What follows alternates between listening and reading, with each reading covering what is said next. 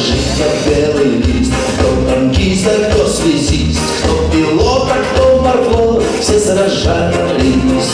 Наши сверстники уже Каждый в личном блиндаже.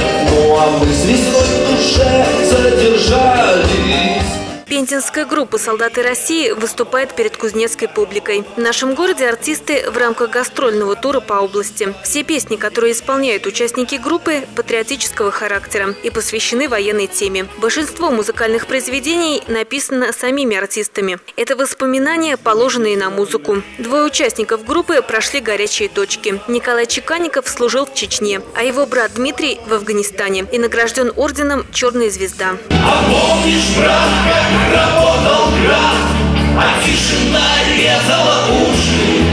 И как бились так горячие да наши полосатые души. До сих пор они как бы э, являются работниками каких-то организаций, но это их хобби, то есть приходится вот по выходным. Сегодня у нас э, они у вас в Кузнецке э, с туром, который называется «А мы из Пензы».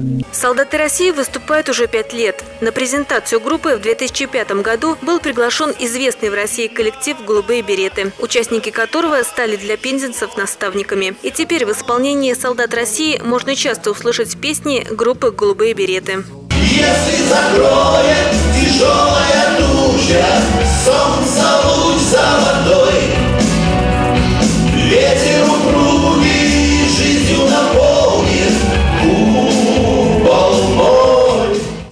«Солдаты России» гастролирует по всей стране. В прошлом году участники коллектива посетили 8 регионов. Выступали пензенцы также на больших сценических площадках страны в Москве и Санкт-Петербурге вместе с известными на всю Россию исполнителями. Естественно, приходилось выезжать и на всероссийские конкурсы, где неоднократно и в Петербурге, и в Москве.